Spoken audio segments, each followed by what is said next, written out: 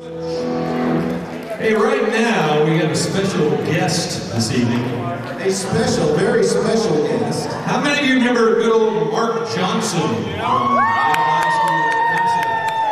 school in Well, back when we were in our Well, he, well he's not here. He's not here tonight, but the reasonable facsimile is. I played uh, in a lot of bands with Mark uh, back in our 20s. Matter of fact, uh, he invited me to join the first band that I ever played in. So, after 27 year hiatus, Mark is going to come up and do a couple of tunes with us. Let's give Mark a big hand, everybody.